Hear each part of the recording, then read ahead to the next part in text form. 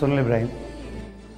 Hi ഞാൻ സിനിമയെയും കലയെയും നാടകത്തെയും ഒക്കെ ഒരുപാട് സ്നേഹിക്കുന്ന ഒരു കൂട്ടം ഒന്നായി ചേർന്ന് അവരുടെ ആഗ്രഹങ്ങൾ അല്ലെങ്കിൽ അവരുടെ സ്വപ്നങ്ങൾ പൂർത്തീകരിക്കാൻ വേണ്ടി ക്യാമ്പസ് ഓഫ് എന്ന പേരിൽ ഒരു ഗ്രൂപ്പ് ഒരു കൂട്ടം സിനിമയുമായി വരികയാണ്. ആ സിനിമയിൽ ചാപ്റ്റേഴ്സ് എന്ന് പറയുന്ന സിനിമയിൽ ഒരു പ്രധാനപ്പെട്ട ക്യാരക്ടർ ഞാനാണ് ചെയ്യുന്നത്.